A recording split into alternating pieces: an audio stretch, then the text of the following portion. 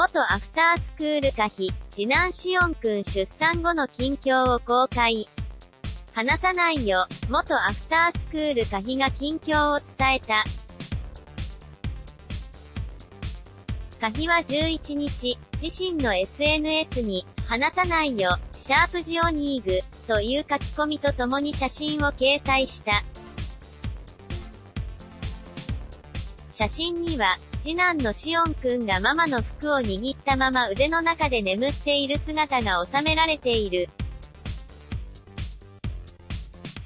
これに先立って6月16日、カヒの所属事務所の関係者はマイデイリーに、カヒが本日の午前5時、次男を出産した、と伝えた。カヒは2016年、3歳年上の一般人の事業家ヤン・ジュンム氏と結婚し、同年10月に長男のア君を出産した。また、カヒの家族は最近、KBS2TV、スーパーマンが帰ってきた、に出演して話題を集めた。元アフタースクール可否、過酷な出産、次男シオンくん誕生の様子を公開。